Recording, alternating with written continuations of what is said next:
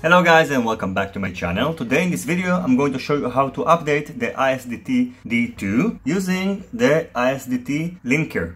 Unfortunately, although it does have a USB port, it is only used to charge USB devices and you will have to get this proprietary cable. Hopefully in the future ISDT are going to integrate the linker into their chargers and just use a standard micro USB port.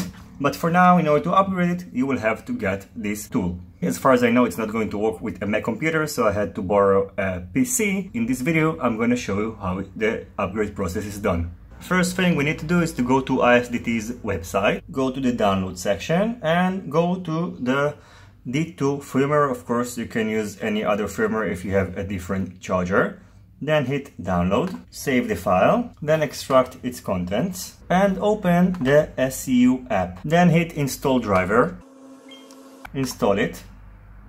It's gonna tell you that driver install failure, at least in my case, but it's still going to work. Then close it.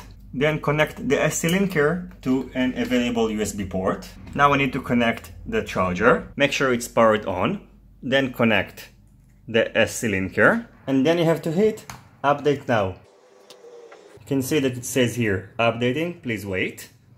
And you have a progress bar on the top. So right now it's on 3%. Of course, make sure that you don't touch anything while it's upgrading. You might break it. So just be patient and wait for the upgrade process to be done.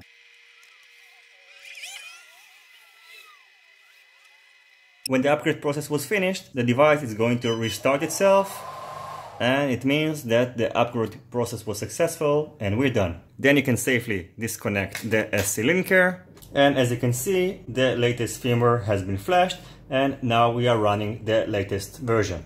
I don't think it's important to keep an eye and see if a new firmware has popped out because it can improve the performance of your device and make it more reliable. So whenever there's a new upgrade available, I recommend to upgrade it, especially if you already have this tool.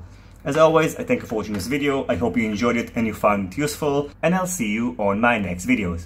Goodbye.